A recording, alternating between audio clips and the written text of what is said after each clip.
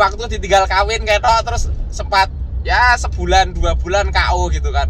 Habis itu tapi terus move Apa yang kau on lakukan sebulan dua bulan itu selama KO? ya seperti layaknya anak muda zaman dulu neng kamar nganggu iPod. Iya iPod Neng- AirPod temu? eh terus ngerokke lagu-lagu yang melo-melo gitu kan. contoh, contoh. contohnya. Oke teman-teman semuanya, ini saya mau jawab pertanyaan ya Q&A ke dia ya. Halo Mas Tulus, lu ini saya buka nih pertanyaan dari teman-teman nih. Dirimu ternyata fansnya sudah cukup banyak Mas. Saya mau baca pertanyaan netizen, tolong dijawab ya Mas Tulus ya. siap insyaallah Pertanyaan pertama datang dari Patria Yuda. Dia nanya, langkah apa yang mau dilakukan setelah ngobrol dan ketemu sama Mas Dodi? Langkah apa Hmm. ramudeng aku pertanyaan nih Maksudnya, langkah apa yang setelah dilakukan setelah ketemu ya aku kan baru ketemu aku toh. Terus what next gitu? Apa yang mau kau lakukan? Dan- kembali ke rutinitas saya Oh. yaitu emang- jualan bebek di pinggir jalan raya karena Emang- keseharian saya seperti itu hari-hari saya tuh Oke, dia memang tidak berkualitas jawabannya ya, tapi ya emang itulah kenyataannya. Dia sesimpel itu cara berpikirnya Iya. ya. Ini Ade Hakim, bagaimana position di produk komoditi? Contoh toko kelontong. Ini tanya sama saya kalau ini. iya Gak usah lah. itu bukan kapasitas saya untuk menjawab nanti malah anda tersesat ya Ya. Dia siapa? WK WK WK. Ki wong tekon. nah, Emangnya dia ini sopo? Ngomong. Tolong jelaskan. dia ini siapa namanya Ini namanya Ahmad Asabdar. ya betul jenengan Ahmad. jenengan pinter mas Aja, eh, apa itu jenengan pinter anda pinter sekali saya tuh siapa ya mau aku jawab apa ora penting buat kesampean itu metakon apa ora penting gitu lanjut lanjut ya. Yun Besam. Gimana rasanya temenan sama Mas Dodi? Biar rasanya kayak konconan karo aku. seneng nek soalnya jajak jajak kayak gini seneng Ya gini ya ini jawab sejujurnya ya teman-teman semuanya saya ini udah berkawan lama sama dia dari tahun 2001 dari mulai nol sampai sekarang ini saya tahu kenal lama makanya saya juga biasa aja ndak ada apa kui biasa wis pokoknya biasa ono kuwi to Eh, senengnya bersyukur karena dia karirnya naik bisnisnya melesat gitu Apa yang kau rasakan aja? Apa yang kau rasakan? Kayak yang yang kau rasakan kadang-kadang Mary Mary itu apa ya? Iri. iri bukan iri iri Pengen- konteksnya pengen, baik ya, ya, iri tapi konteksnya baik. Termo- termotivasi. termotivasi supaya saya bisa seperti dia. Kita minimal sekarang merasakan jadi orang berpakaian bagus. 700 ribu gitu. Itu ya mbak ya. Rasanya seperti itu. Oke, ini dari Mas Sarhid. Mau direkrut buat sekretari pribadi ya Mas kawannya? Enggak lah. Saya rugi Iya. punya sekretaris kayak dia. dia sudah jawab sendiri ya Enggak lah. dia tidak berharap Dari Mbak Aisyah. Jadi brand ambasador Nema Mas. WK WK WK. Kocak wonge. Nggak cocok lah. Nggak cocok lah kalau jadi ambasador ya. pokoknya sing anu dijawab dari dhewe ya tapi sing ora ketika hal-hal yang ketidakcocokan digarap diga, dijawab dari dhewe Mas Tulus jualan bebek di mana? Daerah Semarang mana? saya jualan bebek di daerah Semarang Timur tepatnya di Jalan Kedung Mundu Jalan Raya itu jualnya itu frozen food bebek ungkep jadi jualannya asar sampai maghrib saja Oh, asal kan maghrib toh? iya nyegat orang kerja Pulang Karena- kerja. iya iya mau kerja tak cegat masih mau kerja ya aduh aduh aduh aduh. Ya betul betul. Dia itu cerdas ya kadang-kadang ya. Kalau nyegat orang kerja tidak jadi kerja dong dia tuh. Ya saya itu jualnya karena makanan siap sa cepat saji. Pulang sekolah eh pulang sekolah. Pulang kerja tidak usah repot sudah capek langsung goreng saja sudah bisa jadi lauk. Makanya positioningnya wah, Wijian. itu saya nyegatnya orang pulang kerja jam asar sampai maghrib. Amin adzan maghrib saya pulang Oh. jualannya singkat dua setengah jam Wes, masya Allah. Pertanyaan dari Mas Erik. Dia siapa sih, Bang? Bener, belum kenal. Hehehe. pertanyaan yang sama lagi. ya? Pertanyaan yang sama lagi tidak perlu saya jawab. Oke. Masnya itu jualan jualannya apa ya? Tadi udah sebutin ya, dia jual bebek. Iya. Ya bebek mati ya. Bebek mati. Ya hidup nyokot kowe. Ada pertanyaan dari Pak Nanang WA.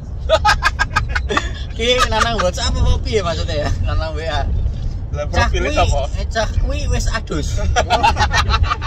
Ojo lali kon nggawa cido karena karena kemarin di hotel dia nggak bisa nyalain shower buka tutorial di YouTube cara menyalakan shower di hotel Kalau usah dijawab, aku tak jawab nih Semarang ya.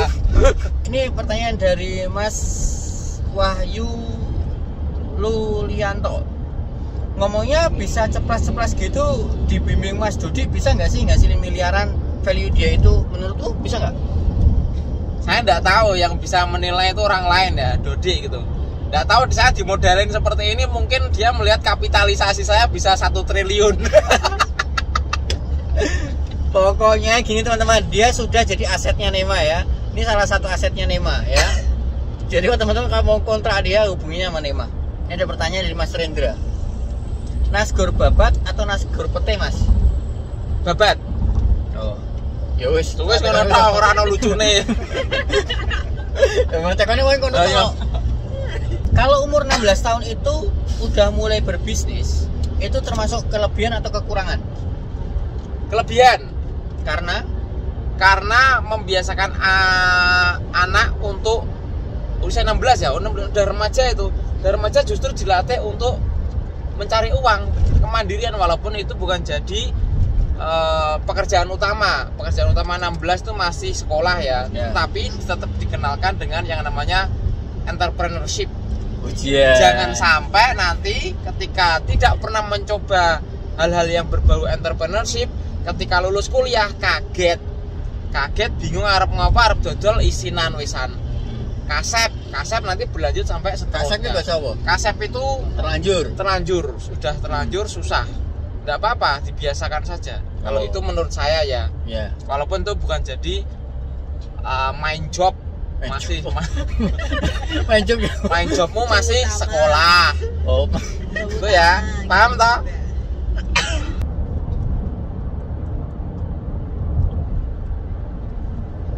dulu dulu aku yang ganteng ya apa kameramu sih apa ya dan lighting semua mendukung sih ya. Dulu aku waktu STM ya itu ada salah satu kamar mandi itu yang kacanya tuh udah kusam. Tapi itu jadi favorit anak-anak teman-teman saya itu kalau ngaca milih ke situ karena di situ jadi ganteng.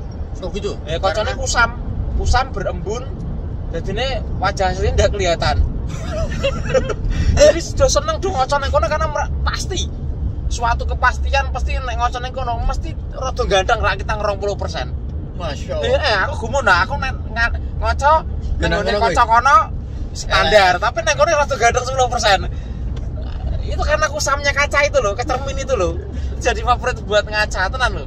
Itu menambah kepercayaan diri. Apa pengalaman yang paling berharga dalam hidup Anda? Yang membuat Anda merasa di titik terendah Wah, aku jatuh sejatuh-jatuhnya.